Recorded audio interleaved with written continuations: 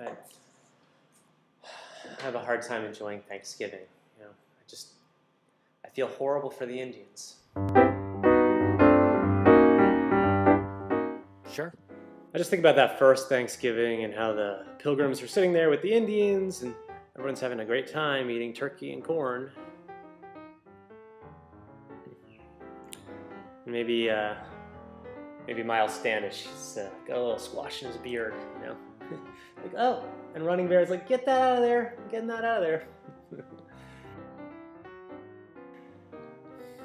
and uh, maybe they're having like, even just like a little argument about what do we call it? Do we call it corn or we call it maize?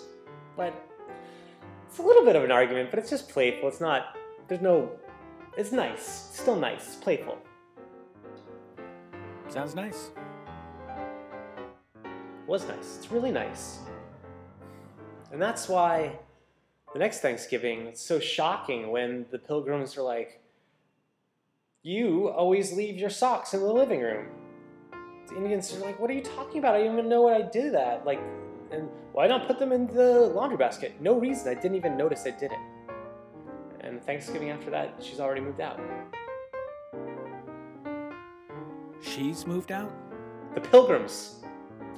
I mean, it's crazy, right? You know, they have been through so much together. They've been through bad harvests, cold winters, this transit strike, you know, driving her around all the time. And they have a rent controlled apartment in a nice neighborhood. I mean, who throws that away? Give it back to the city? It doesn't make sense. And the dog. You can't split a dog. You know, technically it's the pilgrim's dog, but the Indian's always walking it. Maybe the pilgrims felt like you weren't meeting their needs.